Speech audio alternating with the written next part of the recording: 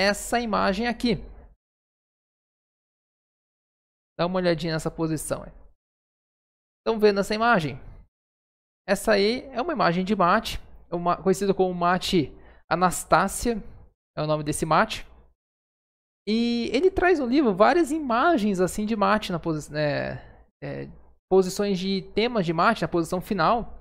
Porque o que, que ele defende? Que quando você conhece a imagem final, é mais fácil de você chegar na resposta. É como se você já tivesse um gabarito, mas é, você precisa fazer todas as contas para bater a resposta. Então, quando você tem esse gabarito final, fica bem mais tranquilo de fazer o cálculo. Por exemplo, vou abrir essa posição aqui. Você quer uma partida do Lasker. E aqui o adversário cooperou bastante na partida, vocês vão ver. É, vão ver que o adversário aqui ele foi muito, muito amigo do Lasker aqui na posição.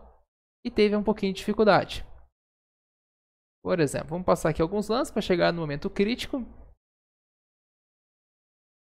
E você vai perceber que aqui ele já tem um cavalo em E7, que foi o que a gente acabou de ver aqui. Agora, ele falta eliminar esse peão e passar uma torre por aqui.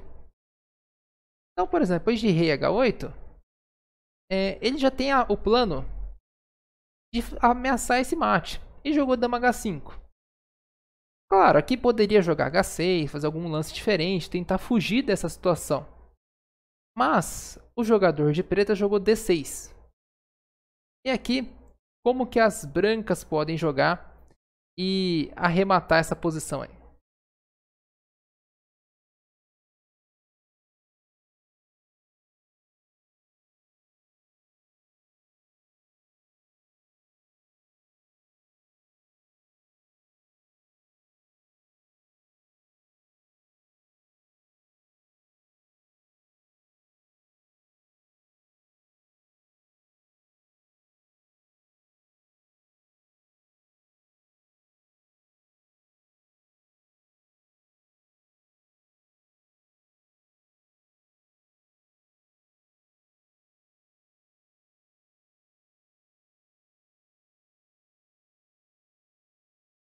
É, esse livro, João, é difícil de achar para comprar, porque ele é um livro que não, acho que não é, foi feito mais edições dele. Então vai ter mais em sebo. Inclusive tem um site que um aluno meu indicou uma vez, que chama Sebo do Messias. O cara tem tudo que é livro de xadrez lá, é, em todos os idiomas possíveis, e vende online. É bem legal. É, é difícil encontrar esse livro novo, tá? Então aqui, realmente é dama H7 seguido de torre H5. É, é, meio que quase que natural, né, esse lance. Uma recomendação. Se você for no Lichess, ali por temas de quebra-cabeça, você vai encontrar lá Mate Anastácia, no nome deles lá. Se você entrar nele e começar a fazer exercício, vai pegar o mesmo tema várias vezes, né? Você vai cansar de refazer esse tema. Vou pegar um outro exemplo para vocês. Essa aqui é uma partida do Shigorin. E. Deixa eu apagar aqui pra não dar spoiler pra vocês. Mas ele dá uns spoilers aqui. E nessa partida aqui do Shigorin, o que que acontece? Ele tava jogando uma simultânea. E. Qual que é a situação? As brancas aqui estão com dois peões a menos na posição. E provavelmente vai acabar perdendo é, logo logo vai trocar o bispo no cavalo, vai ficar uma posição bem interessante. Seguindo aí a, a, a partida, ele mandou torre por A7.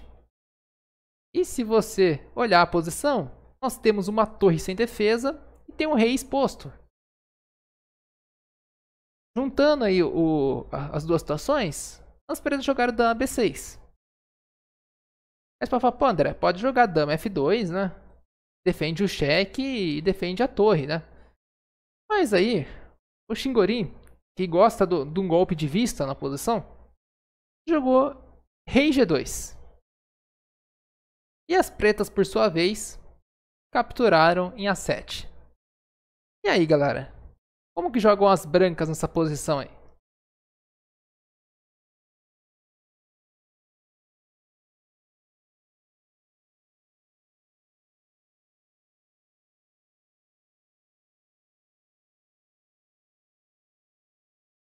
Que as brancas podem fazer nessa posição aí?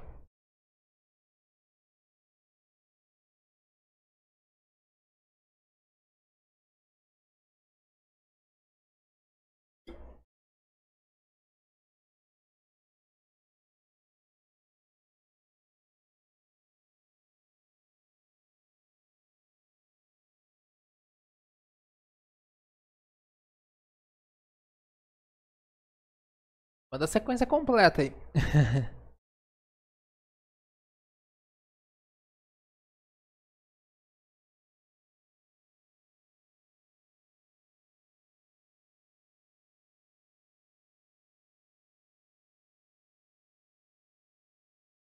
Exatamente, galera. Você viu como ficou fácil? Por quê? Cavalo E7.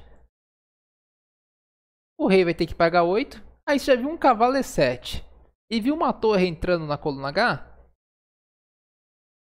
dama por H7, rei captura, torre H7, torre H1, desculpa, e mate.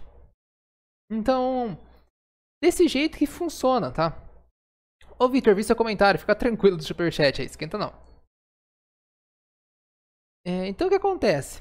Aí você poderia pensar, ah, vou jogar torre H1 primeiro, né, para ameaçar mate em H7.